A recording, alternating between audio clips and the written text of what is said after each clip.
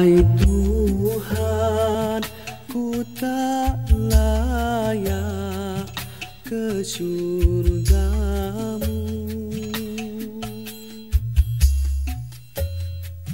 Namun tak pula aku sanggup ke neraka-Mu.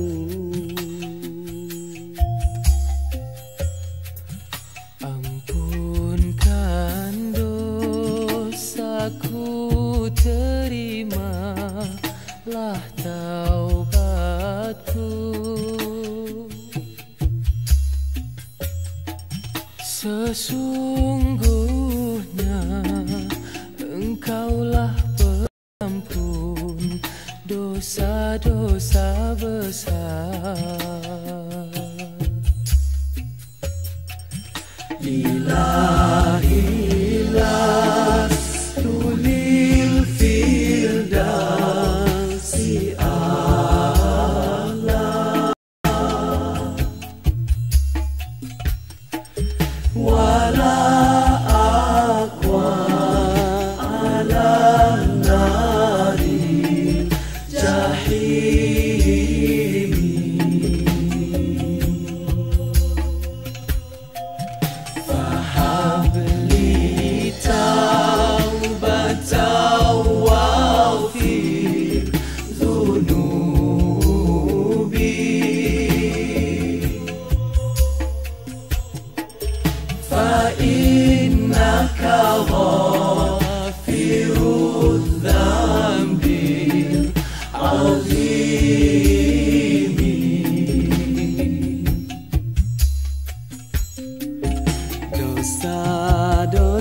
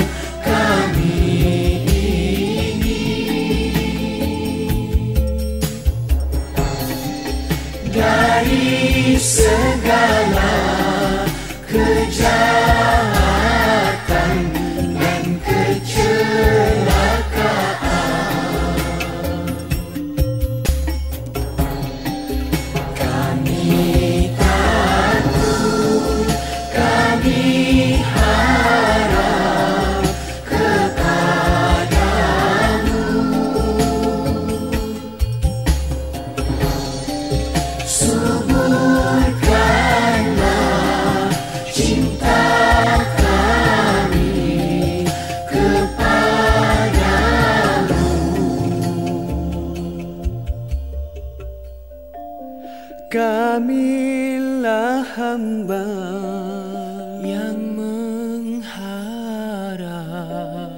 belas darimu.